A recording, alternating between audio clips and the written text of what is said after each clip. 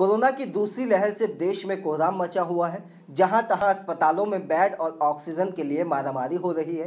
Corona मरीजों को एक बेड के लिए काफ़ी संघर्ष करना पड़ रहा है। ऐसे समय में नागपुर से एक खबर सामने आई है, जो आपको भावुक कर देगी, जहाँ एक बुज़ुर्ग कोरोना मरीज़ ने अपना बेड देकर दूसरे शख्स की जान बचाई। क्या है पूरा मामला, वो भी आपको बताते हैं। दरअसल, नागपुर के रहने वाले पचासी साल के नारायण भावराव ढाबटकर कोरोना पॉजिटिव थे।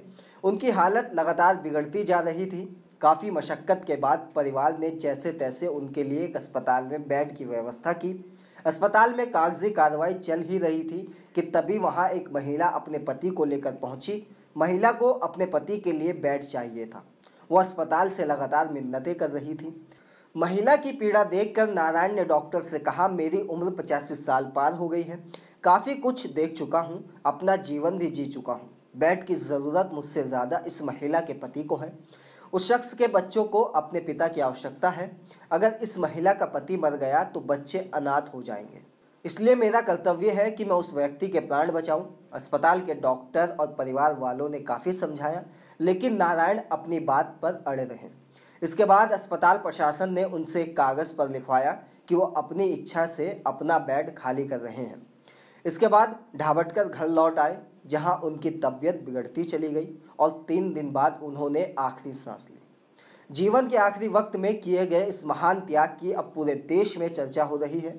नारायण आरएसएस के स्वयं सेवक भी थे।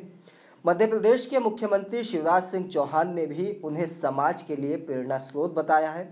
और उन्हें श्रद्धांजलि दी है। शिवराज सिंह चौहान ने उनका ज़िक्र करते हुए लिखा, दूसरे व्यक्ति की प्राण रक्षा करते हुए नारायण जी तीन दिनों में इस संसार से विदा हो गए। समाज और राष्ट्र के सच्चे सेवक ही ऐसा त्याग कर सकते हैं। आपके पवित्र सेवा भाव को प्रणाम। आप समाज के लिए प्रेरणा स्रोत हैं। दिव्यात्मा को विनम्र श्रद्धांजलि। ओम शांति।